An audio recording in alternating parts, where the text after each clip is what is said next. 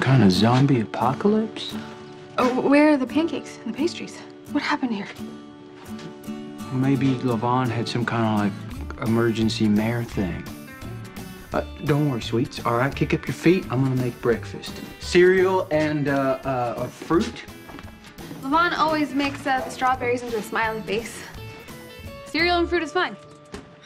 So I uh, stopped by Earl's yesterday. Yeah?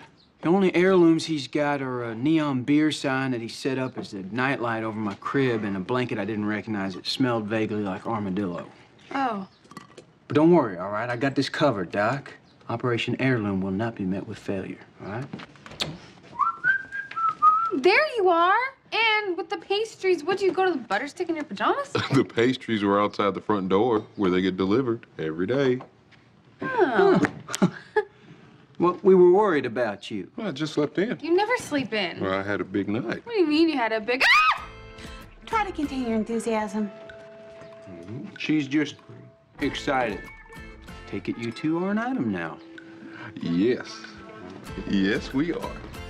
Yay, that is so great.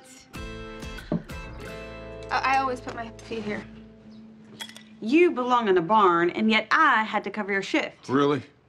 You two are still doing that? I thought we moved past this. That's the beauty of our relationship, Lavon. We never move past this, right, Lemon? Mm-hmm. Move. Oh, no, no, not that one. See, there's only one buttermilk muffin. Yes, that is correct. And that is mine. Well, actually, it's for me. Because as you can see, I'm eating for two. Oh, no. You are not playing that card with me. This is my boyfriend's house, and these are his pastries, so. I'm a boyfriend. Mm-hmm. Wasn't this nice?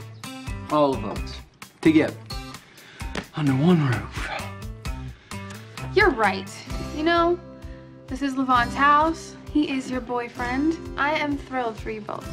You are? Whoa! Zoe! Oh, Sarah, love pastries! Seriously? Uh, This is gonna be fun.